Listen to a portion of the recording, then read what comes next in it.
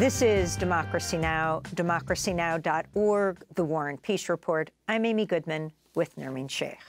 We end today's show in Pakistan, where Shehbaz Sharif was sworn in, in Monday as Prime Minister for a second time, days after newly elected members of Parliament were seated amid protests by lawmakers from the party of ousted and jailed former Prime Minister Imran Khan. Sharif is expected to form a new government after none of the major parties won a majority of parliamentary seats in February's election. Khan supporters have accused the military of election tampering. On X, the U.S. Embassy in Islamabad congratulated Shehbaz on his, quote, assumption of office.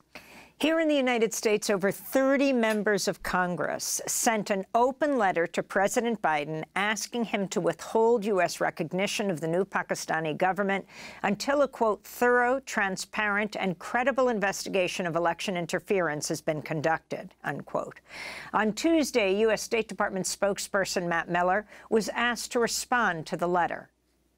So a few things. Number one, there was a competitive election in Pakistan. Millions and millions of people made their voices uh, heard. A new government has been formed, and we will, of course, work with that government. At the same time, um, there were reported irregularities. There have been challenges brought by political parties to the results, and we want to see those challenges and those irregularities fully investigated. For more, we're joined in Islamabad by Aasim Sajjad Akhtar, Associate Professor of Political Economy at Quaid-i-Azam uh, University in Islamabad. He's also affiliated um, with uh, Pakistan um, Workers' Party. We thank you so much for being with us. Um, can you say the name of your university? I'm sorry, I mispronounced it.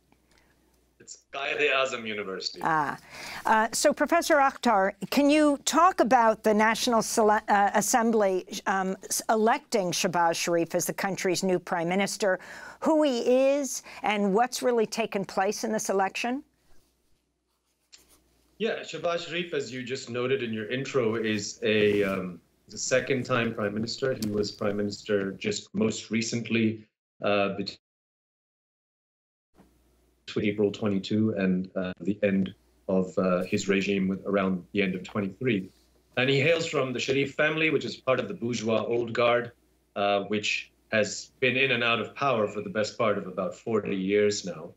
Um, and as you also noted in your intro, um, this election was marred, is, is, is a sort of an understatement, um, by, by rigging and, and by vote tampering. And in fact, even after the election results came out, in which uh, Imran Khan's party clearly, by any objective measure, won the most seats.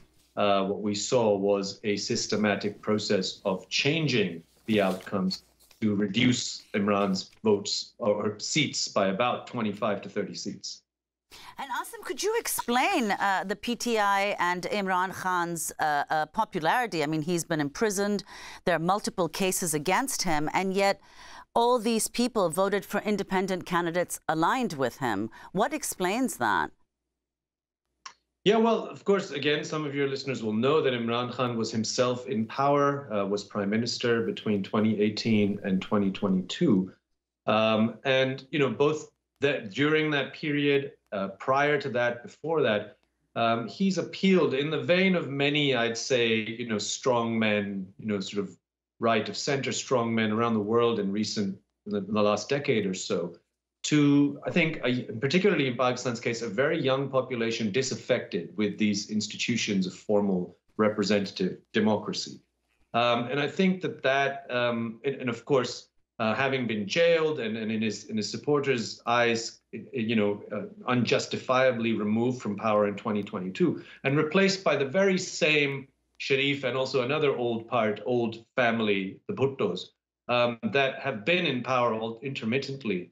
Uh, and of course, all at the behest of Pakistan's preeminent political force, which is the army. Um, I think that combination of factors, a young, disaffected population, um, a, a regime, a set of regimes that historically does not deliver, and then underlying structural crises that just get worse. And I think that contributes to Imran Khan's growing popularity.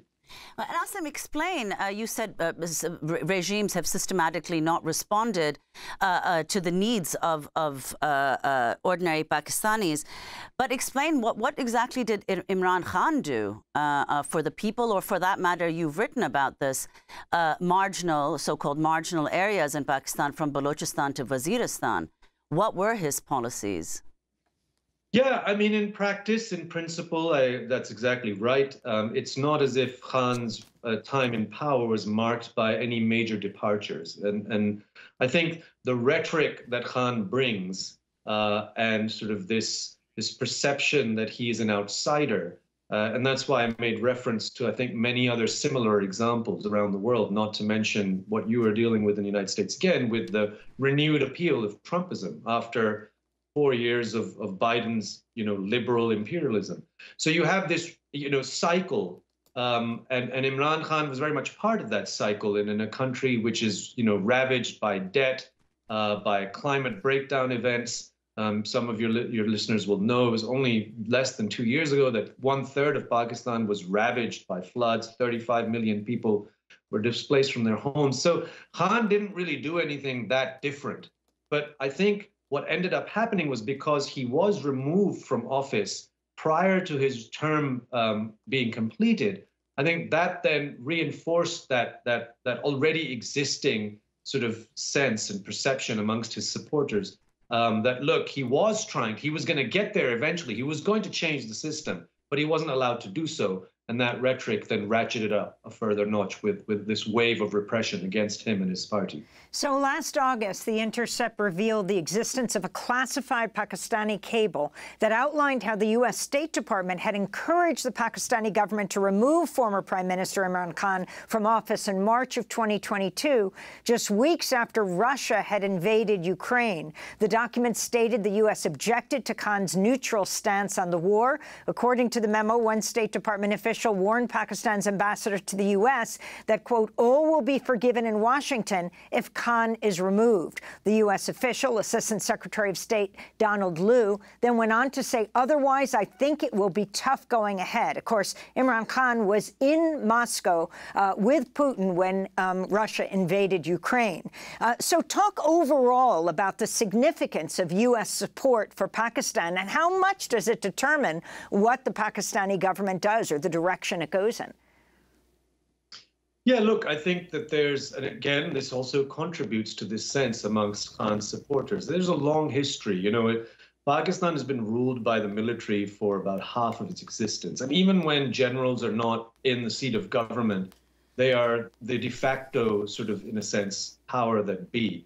Uh, and, you know, three long periods of dictatorship, twice during the Cold War under Generals Ayub Khan and Ziaul Haq, and then under the war on terror regime with General Musharraf, all of these regimes were fully backed by Washington.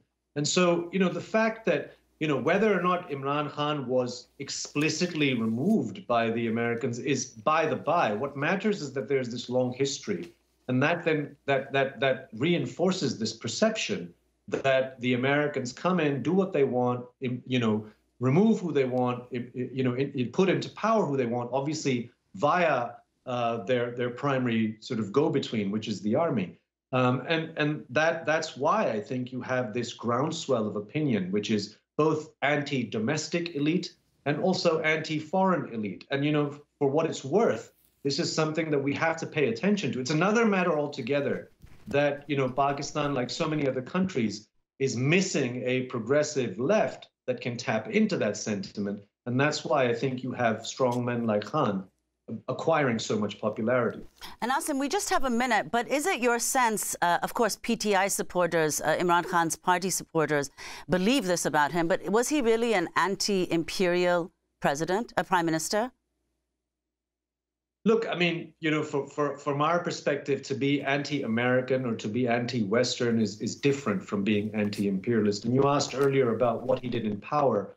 I mean, in practice, you know, there were very few policy steps to change Pakistan's sort of foreign policy regime, its, its larger militarized sort of policy matrix. So, you know, I think for us, uh, the, the challenge for us on the left is how do we, you know, take this burgeoning sentiment amongst a young population and deepen it and in more progressive directions. Of course, that's a hard task, but I, I don't see any other way for us to break this cycle between a liberal center that keeps creating, paving the way for you know far right figures to become popular and come to power. Aasim Sajjad Akhtar, Associate Professor at Quaid-i-Azam University in Islamabad, also affiliated with Pakistan's left-wing Awami Workers' Party. Thank you for joining us. And that does it for our show. Democracy Now! is produced with Mike Burke, Renee Feltz, Deena Guzder, Sharif Abdel Messiah Rhodes, Maria Taracena, Tami Woronoff, Charina Nadura, Sam Alcoff, Tey-Marie Astudillo, John Hamilton, Robby Karran, Hany Massoud, and Hannah Elias. Our executive director is Julie Crosby. Special thanks to Becca Staley, John Randolph, Paul Powell, Mike Di Filippo, Miguel Noguera, Hugh Gran, Denis Moynihan, David Prude, Dennis McCormick. I'm Amy Goodman with Nermeen Sheikh. Thanks so much for joining us.